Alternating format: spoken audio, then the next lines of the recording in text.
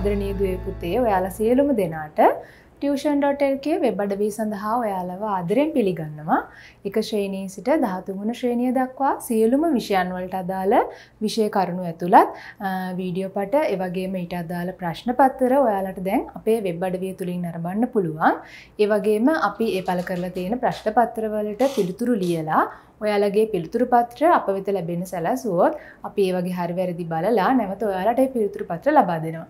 ඉතින් ඔයාලගේ මේ සියලු විෂයන් වලට අදාළ විෂය දැනුම වැඩි කරගන්න අපිත් එක්ක එකතු වෙන්න කියලා ඔයාලට ආදරෙන් ආරාධනා කරනවා. මම අද ඔයාලත් එක්ක කතා කරන්න දුවේ පුතේ උසස් පෙළ නර්තනය කියන විෂය සම්බන්ධවයි. ඒකෙදි අපි 12 වෙනි ශ්‍රේණියට සහ අදාළ විෂය කරුණු කතා කරා. ඒ වගේම දැන් අපි කතා කරන්නේ ඔයගලන්ට 13 වෙනි ශ්‍රේණියට අදාළ පාඩම් වලට අඩංගු පාඩම් වල අඩංගු වෙන විෂය කරුණු මොනවද කියලා. එතකොට දැ මං අද ඔයාලත් එක්ක කතා කරන්න යන්නේ අපිට අසල් වැසි එමනත්තං භාරත දේශයේ එන සම්ප්‍රදායික නර්තනාංග මොනවද කියලා. එතකොට අපිට ඒ භාරතය ඉන්දියන් ඉන්දයානු නර්තන භාරතිය නර්තන ප්‍රධාන කොටස් හතරක් යටතේ අපිට අධ්‍යනය කරන්න තියෙනවා. ඔයාල මේ වෙන කොටත් දන්නවා ඒ නර්තනාංග මොනවද කියලා භරත කතකලි කතක් මණිපුරි කියන මේ නර්තන සම්ප්‍රදායන් හතර තමයි අපිට ඉන්දයානු නර්තන සම්ප්‍රදායන් විදිහට ඉගෙන ගන්න තියෙන්නේ. එතකොට දුහිපුතේ මං අද ඔයාලත් එක කතා කරනවා. මේ භාරතය නර්තන සම්ප්‍රදායන්හි ආරම්භය හා විකාශය කියන මාර්ථකාව යටතේ ඉසලාම මේ බරත නාට්‍යම් එමනතම් බරත නැටුම් කියන්නේ මොනවද? ඒ නර්තනාංග මොනවද? ඒ සංගීත සම්ප්‍රදාය කොමොකක්ද ඒවගේම රංගවස්ට්‍රාභරණ මොනවද? මෙන්න මේ කියන විෂයකරුණු ගැන මං මෙතනද අද ඔයාලත් එක සාකච්ඡා කරනවා. අපි දැන් බලමු මේ භරතනාට්‍යයන් ප්‍රභවය එහෙම නැත්නම් මේ භරතනාට්‍යයන් වල ආරම්භය වුණේ කොහොමද කියලා.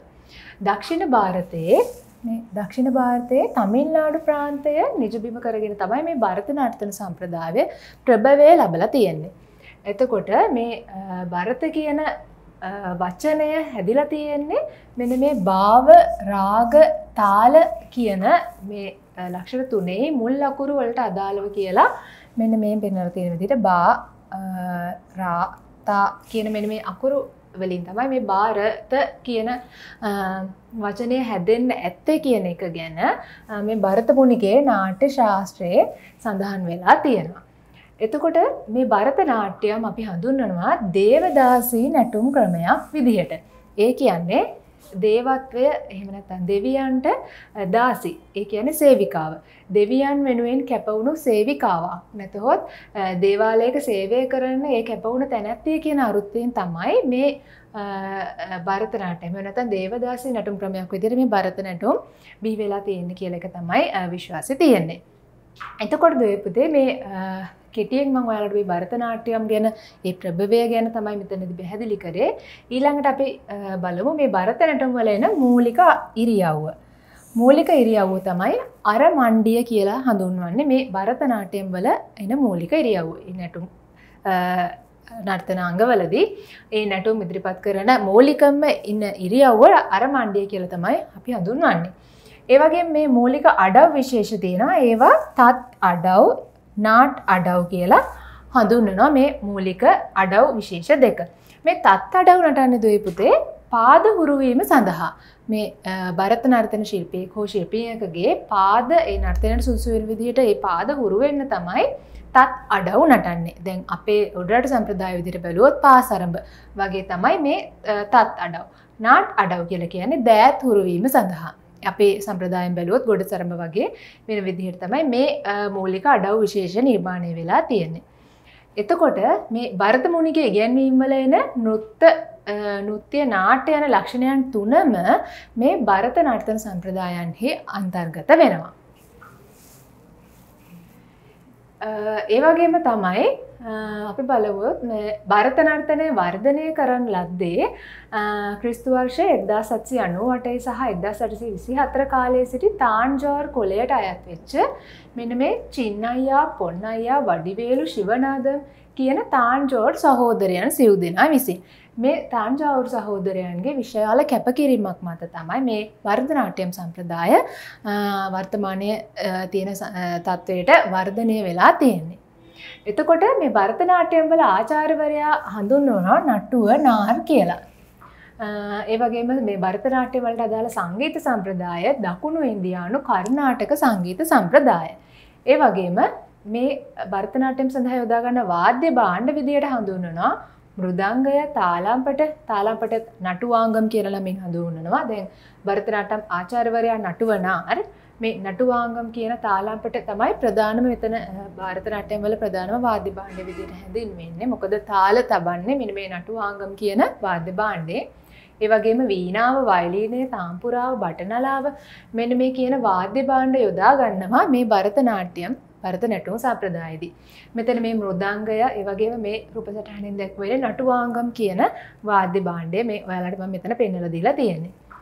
ඒ වගේම භරතනාට්‍යම් වල සංගීත ශිල්පීන් මුත්තු කාරන් කියන නමින් හඳුන්වනවා මම වලට මෙතන මේ පෙන්වලා දීලා තියෙන මේ මුත්තු කාරන් කියන නම. එතකොට දුවේ පුතේ මෙන්න මේ වචන ඔයාලා හොඳට මතක තියාගන්න ඕනේ. මොකද ඉරිගහන ප්‍රශ්න පත්‍රයේට ඉරිගහන උත්තරවලදී හෝ එහෙම නැත්නම් අර කෙටි උත්තර ලියන්න ඕගලන්ට තියෙනවා. ප්‍රශ්න විසි පහක් මූලික ප්‍රශ්න විසි පහිරි ගහන්න වගේම ඉතුරු ප්‍රශ්න විසි පහ තියෙන කෙටි උත්තර ලියන්න. එතකොට මෙන්න මේ වචන ඔයාලට ඒ ප්‍රශ්නවලද මේ හිස්තැන් පුරවන්න එන්න ඉඩ තියෙන මෙන්න මේ දැ බර්ධනාට්‍යය වල සංගීත ශිල්පීන් හඳුනන නාමය කියලා තිබුණොත් එතන හිස්තැනට ඔගොල මේ මුත්තුකාරන් කියන පිළිතුරක් විදිහට මේ වචනය ලියන්න ඕනේ. එතකොට මෙන්න මේ වචන හොඳට මතක තියාගන්න ඔයාලගේ විභාගයට යන්න කලින්. එතකොට ඊළඟට අපි බලමු මේ භරතනාට්‍යම් සංදර්ශනයක තියෙන රංග අනු පිළිවෙල කොහොමද කියලා බරදනටුම් නටනකොට ඒ රංග අනු පිළිවෙලක් ඇති තමයි නර්තන ඉදිරිපත් කරන්නේ. එතකට ම මෙතන ඔගලන්ට භරිත නැටුම් වල ප්‍රධාන වශයෙන් වෙන් කරන නොත්ත නෘත්‍ය නාට්‍ය කියන කොටස්තුන යටතේ මෙන මේ භරත නර්තන සම්ප්‍රදායන අංග රංග අනු පිළිවෙල මක් පෙනල දීලා තියෙනවා. තුට මේ නොත්ත කොටසට අයත් වෙනවා අලාරිප්පු ජතීශ්වරම් තිල්ලානා කියන නර්තනාංග තුන්. ඒ වගේම නෘත්‍ය කොටසට අයති වෙනවා ශබ්ද පදම් ශ්ලෝකම් කියන නර්තනාංග තුන. යොගෙම නාට්‍ය කියන කොටසට අයත් වෙනවා කුරවංජි භගවත මේලා කියන නර්තනාංග දෙක. එතකොට මේ භර්තනටයම් සදර්ශනයක රංග අනු පිළිවෙල මෙන්න මේ විදියට නෘත්ත නෘත්‍ය නාට්‍ය යන කොටස් යටතේ ඔගොල්ලෝ මතක තියාගන්න ඕනේ. ඊළඟට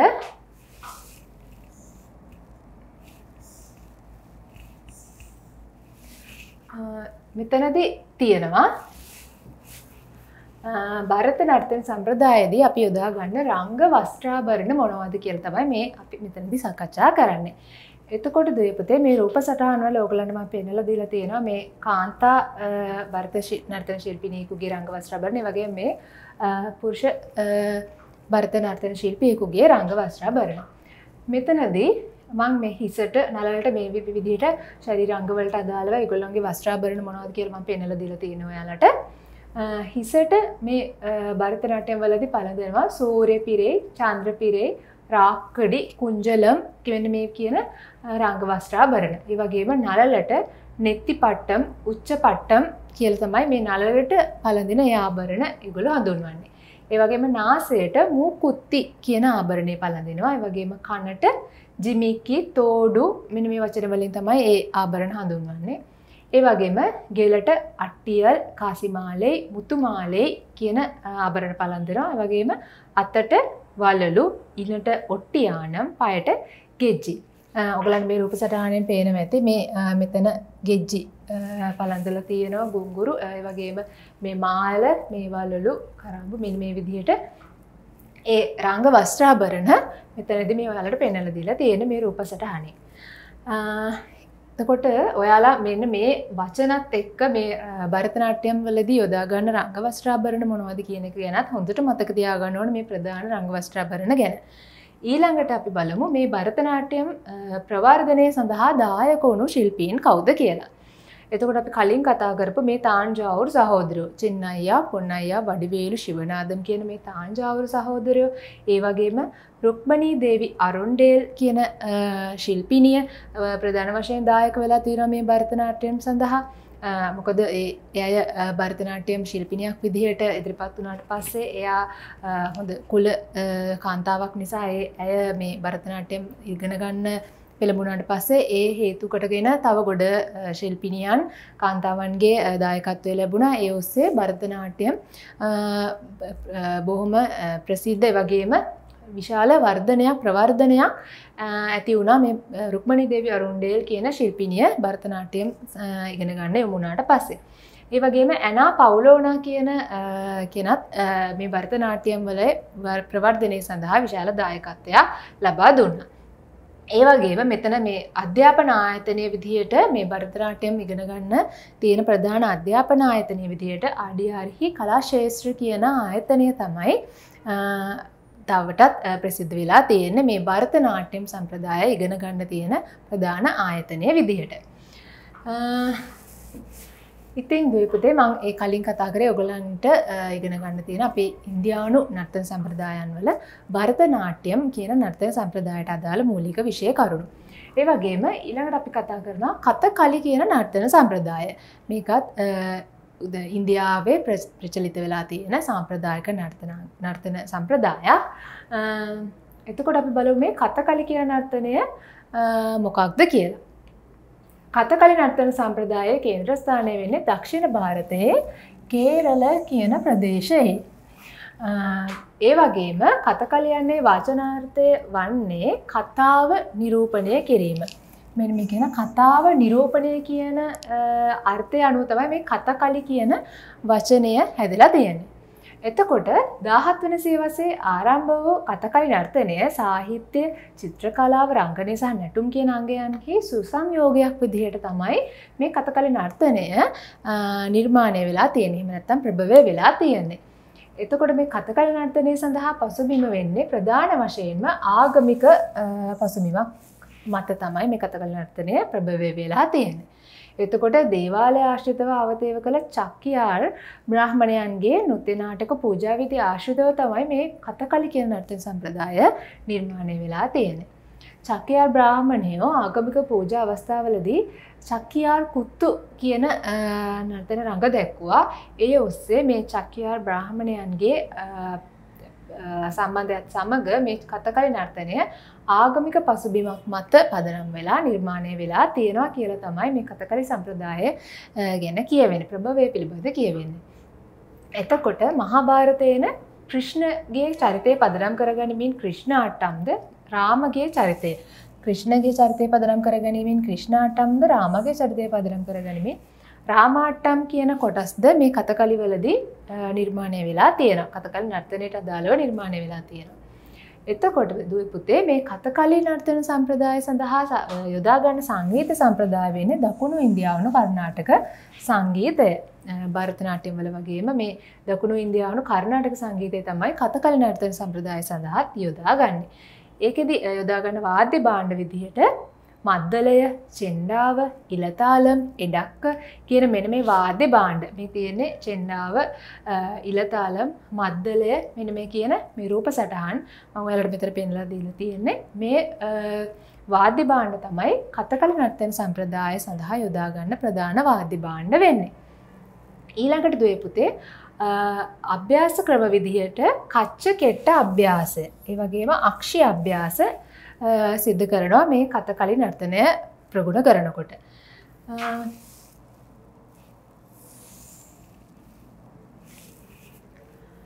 හරි අපි මෙතරදි කතා කරන්නේ කතකලි නර්තන සම්ප්‍රදායට අදාළ වේශ නිරූපණය ගැන. කතකලි සම්ප්‍රදාය වේශ නිරූපණය ඉතාම සුවිශේෂ වේශ නිරූපණයක් තමයි මේ නර්තනය සඳහා යොදා ගන්නේ. ඔයාලා දන්නවා මේ වෙනකොටත් මම මෙතන මේ රූප සටහන පෙන්වලා දීලා තියෙන්නේ. මේ බලන්න සාමාන්‍ය වේශ නිරූපණයකට වැඩිය වෙනස් වූ විශාල කාලයක් ගත වෙන විශේෂිත වූ වේශ නිරූපණයක් තමයි මේ කතකලි නර්තනයේදී යොදා ගන්නේ. එතකොට මේ වේශරීරූපණය මේ විදිහට කොටස් පහක් යටතේ තමයි සිද්ධ කරන්න. අපි දැන් අපි විෂය කරුණ විදිට හදාරනකොට මෙ මේ විදිහයට කොටස් පහයටතේ මේ වේශ දිරෝපෙන පිළිබඳ ඉගර ගන්නවා. අපි කෙටියෙක්ම මෙතරින් වල්ල කෙටිය විස්සර කරලා තියෙන්නේ මේ පච්චා කියල කියන්නේ කොල වර්ණය. මේ පේරමැතිවාලට මේ මූුණ කොල පාට වෙලා තියෙනවා. මෙන්න මේ කොල වර්ණය තමයි පච්චා කියලා අපි අඳුන්වන එතකොට රාජ දේව සහ යුද්ධ වීරයන්ගේ චරිත වෙස් ගැන්වීමට තමයි මේ පච්චා කියන වේශ නිරුපණ ක්‍රමය යොදාගන්නේ. ඒවගේම කත්ති කියලා කියනවා. ඒ කත්ති කියලා කියන්නේ රැවුල පිහියක ආකාරයෙන් තමයි මේ කත්ති කියන කොටසද මේ යොදා ගන්න මෙතර මේ පේරම ඇති මේ පිහියක ආකාරයෙන් මෙන් මේ විදිහට මේ විෂිනිරූපණය කරලා තිරවා රැවුලක් ඒ රැවුල කොටස මිපිහිය ආකාරයට තමයි ඒ රැවුල කොටස වේශරූපණය කරන්න. එතකොට බලය අහංකාරය මාන්‍ය වැනි ඒ ලක්ෂණ නිරූපණය කරන්නේ වගේ භාව ප්‍රකාශනයන් වලට මේ වේශ නිරූපණය එගොල්ලෝ යොදාගෙන තියෙනවා. එතකොට තාඩි කියලා කියන්නේ දුවපුදේ රැවුල්. ඒ කියන්නේ නිකටට යටින් යොදාගන්න රැවුලට කියනවා මේ තාඩි කියලා. ඒ වගේ මේවා රත්තු සුද්දු කළු වර්ණවලින් යොදාගෙන තියෙනවා. වගේම කාරි කියලා කියන්නේ මුහුණට තද කළු වර්ණය යොදාගන්න අවස්ථාවලද කියන රාක්ෂ යක්ෂ කාන්තා චරිත ඒ වගේ අවස්ථාවන් සඳහා මේ කාරි කියන වේශ නිරූපණය යොදා ගන්නවා. ඒවගේම මිනික්කු කියල කියන්නේ රන්වැන් පැහයක් ගන්න විදිහට වේශ නිරූපණය කරනකොට එක මුනිවරු බ්‍රහ්මණය දූතය වගේම සුන්දර ස්ත්‍රී චරිත මේ වගේ චරිතවලට මේ මිනික්කු කියන වේශ නිරූපණය යොදා ගන්නවල. කත්තකලි නර්තනය ප්‍රවර්ධනය සඳහා දායක වුණ අය විදිහට වල්ලතොල් නාරායන් මෙනන් කියන පුද්ගලයා ප්‍රචලිත වෙලා තියෙනවා මේ කතකල් නර්තනය ප්‍රවර්ධනය කිරීම උදෙසා ලැබුණු දායකත්වය නිසා. එතකොට කතකල නර්තනය උගරන ප්‍රධාන ආයතනය විදිහයට හඳුනනවා කේරල කලා මණ්ඩලය. කතකලි නත්තන හදාරණ ශිල්පීන්ට ඒ හදාරන්න සුදුසු ආයතනයක් විදිර මේ කේරල කලා මණ්ඩලය කියන ආයතනය ඔන්නම් කරලා තියෙනවා. එතකොට දුවේ පුතේ හරි ඊළඟට අපි බලමු කතකලි නර්තන සම්ප්‍රදායේදී යොදා ගන්න රංග වස්ට්‍රාභරණ මොනවද කියලා. කතකලි නර්තනයේදී යොදාගන්න රංග වස්ට්‍රාභරණත් ටිකක් සංකීර්ණ රංග වස්ට්‍රාභරණ තමයි ඒගොලො ඒ නර්තනයේදී යොදා ගන්නේ. මෙතනදි මම මේ ඔයගලන්ට පෙන්වලා දීලා තියෙන ඒ අදාළ සුවිශේෂ නාමයට අනුව ඒ මොනවද මේ රංග වස්ට්‍රාභරණ කියන එක. එතකොට මේ ඤෝරි කියලා කියන්නේ තට්ටු කිහිපයකින් යුක්ත පිම්බුණු හැඩයකින් යුත් සායක් සායක් බදු හැඩකින් යුක්ත යටිකාය වස්ත්‍රයට තමයි ඒ ඥෝරි කියන නමින් ඒගොල්ල මේ කතකල රංග වස්ත්‍රාභරණය හඳුන්වන්නේ. මෙතන මේ ඔයගලන්ට පේන ඇති මේක සායක් වගේ පිම්බුණු ස්වරූපයක් ගන්න වස්ත්‍රාභරණයක් වස්ත්‍රයක් තමයි මේ යටිකාය සඳහා ඒගොල්ලෝ අඳින්නේ. ඒක හඳුන්වනවා මේ ඥෝරි කියන නමින්. ඒ වගේම කුප්පායම් කියලා කියන්නේ උඩුකය හැට්ටය. මේ ඔගලට පේන ඇති මේ උඩුකය හැට්ටය එගොල අඳුන්නනවා කුප්පායම් කියලා. චරිතය ස්වභාවය අනුව ඒ හැට්ටේ වරණය වෙනස් වෙනවා. ඒ වගේම කිරීටම් කියලා කියනවා. මේක ශීර්ෂ පලදනාවක් මේ මෙතන ඔගලන් පේන ඇති. ශීර්ෂ පලඳනාව ඒකත් චරිතය ස්වභාවය අනුව වෙනස් වෙනවා. ඒවගේම කළු තාරම් කියලා කියනවා මේ කර මාලවලට උත්තරීයම් කියලා කියලන කරේදාල තියෙන සුදු පැහැති සලුවට මෙන මේ තියෙන සලුව ඔලට පැහැදිලි ඇති මිරූප සටහනෙක්. ඒක හඳුන්වනවා කළුතාර උත්තරීයම් කියලා. වගේම පටුවාල් කියල කියනවා මේ ඉන දෙපසින් වැටෙන රතු පාට පටිවලට මෙ තියෙන්නේ මෙන මේවා පටුවාල් කියලා හඳුන්වනවා. ඒ වගේම චාමරම් කියලා කියනවා. ඒ නළුවගේ බොරු කොන්්ඩ බොරු කොන්්ඩයක් එකුල පරඳනවා අබරයකදට එතකොට ඒක චාමරම් කියලා නමින්ත මහඳුන් වන්නේ වගේම තෝල් පුට්ටු කියලා කියනවා. මෙ මේ උර බාහු. මේ උර බාහුවලට තෝල් පුට්ටු කියලා කියනවා. නකම් කියලා කියනවා. කෘතිම නියපොතු. මේ පේනවතියෝගලට මෙතන තියෙන මේ කෘතිම නියපොතු එගොලු අලවනවා ඒවා නකම් කියල නමින් හඳුන්නනවා ඒවගේම විලංග කියල කියනවා. ඒ ගෙජ්ජි වලට පාදවලට මෙතන දාන පාදවලට දාන ගෙජ්ජි වලට එගොලො විලාංග කියන නමින් හඳුන්වනවා. එතකොට ඔයාලට පිතර පැහැදිලි ඇති අපි කත කලි කියන නර්තන සම්ප්‍රදායේදී එගුල යොදාගන්න රංගවස්ත්‍රාභරණ ඒවගේ මේ අඳුරන විශේෂනාමය මොකද කියනෙක තමයි ම තෙරි සාකච්ඡා කර. ඔයාලතකොට මෙන මේ විශේෂ නාම හොඳට මතක තියාගන්න ඕනේ. ම කලින්කිව වගේ ඉරිගහන ප්‍රශ්නවලට වගේ මර කෙටි පිළිතුරු ලියන ප්‍රශ්නවලට මේ නම් ලියන්න එන්න ලියන්න අවස්ථාව ගැනේ ප්‍රශ්න එන්න ඉඩ තියෙනවා. නිසා මෙන මේ ප්‍රධාන නම් ටික මතක තියාගන්න ඕනේ. එතකොට දුවේ පුතේ මෙතනදී මං අරගෙන තියෙන ඔයාලට පසුගිය විභාග ප්‍රශ්ට පත්තරයක අඩංගු වෙච්ච මේ භාරත භාරතීය ඉන්දයානු සම්ප්‍රදායන්කින් අහල තියෙන ප්‍රශ්නයක් මෙතනදි මං අරං තියෙනවා. එතකොට මේ වගේ ප්‍රශ්නයක් අවුත් කොහොමද පිළිතුරු ලියන්න කියන එක ගැන ඔයාලට අවබෝධයක් තියෙන්ඩුවනේ.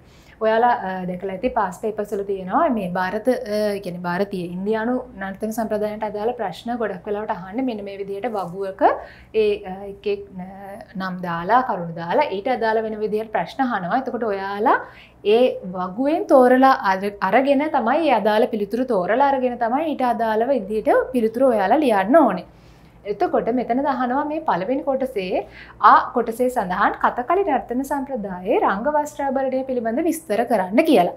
එතකොට මේ ආ කොටසට දාලා මේ පොෂුවන් ලේංගා උට්ටියානම් ඥෝරි කියලා මෙන්න මේ විදිහට පිළිතුරු හතරක් ඒගොල්ලෝ දීලා තියෙනවා. දැන් එතකොට අපි දුවේ පුතේ දැනගන්න ඕනේ මේ කතකලි නර්තන සම්ප්‍රදායටම අදාළ රංග වස්ත්‍රාභරණය මොකක්ද කියන එක.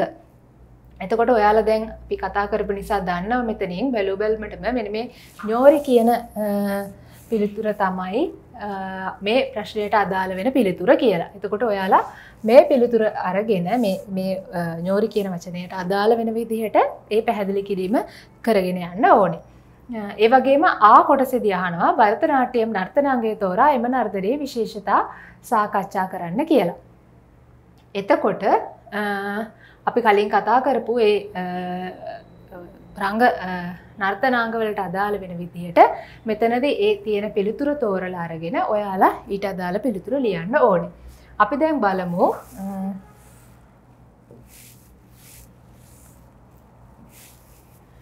මෙතනද මේ කතකලි නර්තන සම්ප්‍රදායට අදාළ රංග වස්ත්‍රාපරණය පිළිබඳව විස්තර ටික. ඒ ජෝරි කියන වචනේ අපි එතකොට පිළිතුරක් විදිහට ලියලා ඒ පිළිබඳ විස්තර කිරීමක් තමයි මෙතනදී තියෙන්නේ. මම මේ කෙටියෙන් ඔයාලට පැහැදිලි කරලා තියෙනවා කරුණු වශයෙන්. කතකල් නර්තන සම්ප්‍රදායන ප්‍රධාන ඇඳුම් කටලේන යටිකයි සඳහා අඳිනු ලබන ඇඳුමක් විදිහට තමයි ඥෝරි අඳුන්වන්නේ. අපි ඉස්සෙල්ලා කතා කරා ඔයාලට මතක ඇති. දැන් පැහැදිලි ඇති. අපි රූප සටහනට අදාළව මම ඔයාලට පැහැදිලි කරා. ඒ වගේම ඒ බෙන්ජෝරි කියන යටිකයි සඳහාදිර වස්ත්‍රයේ සායක් මඳු හැඩයක් තියෙනවා. ඒ වගේම යාර ගණනාවකින් යුක්තු රෙදි ප්‍රමාණයක් උපයෝගී කොටගෙන තියෙනවා. ඒ වගේම තනි වර්ණයෙන් යුක්ත අලංකාර සැරසිලි සහිතව පිම්බුණු ස්වභාවයක් සකසලා තියෙනවා. තට්ටු තට්ටු විදිහට මහලා තියෙන නිසා ඒක පිම්බුණු ස්වභාවයකින් යුක්ත ඇඳුමක් විදිහට තමයි ඒගොල්ලෝ ඒක නිර්මාණය කරගෙන තියෙන්නේ. ඒ වගේම බොහෝ විට සුදු වර්ණයෙන් යුක්ත වීම නිසා එහි වර්ණවත්භාවය උද්දීපනය වෙලා තියෙනවා. ඒ වගේම තට්ටු කිහිපයකින් යුක්ත නිසා පිබුණු ස්වභාවයක් ගන්නවා. සහ සාය වටේට වර්ණවත් පටි අලල තියෙනවා කියලා මේ ඥෝරි කියන රංගවස්ත්‍රාභරණය පිළිබඳ මම කෙටියෙදි මෙතනදී ඔයගලන්ට විස්තර කරලා තියෙනවා. ඔයාලට මතක ඇති මෙන්න මේ කියපු මෙන්න මේ කොටස තමයි මේ ඥෝරි කියන විදිහට මේ යටිකයට අඳින රංගවස්ත්‍රාභරණයේ විදිහට මෙතනදී මේ ප්‍රශ්නයට අදාළව අපි පිළිතුරු ලියන්න ඕනේ. ඊළඟට දුවේ පුතේ මේ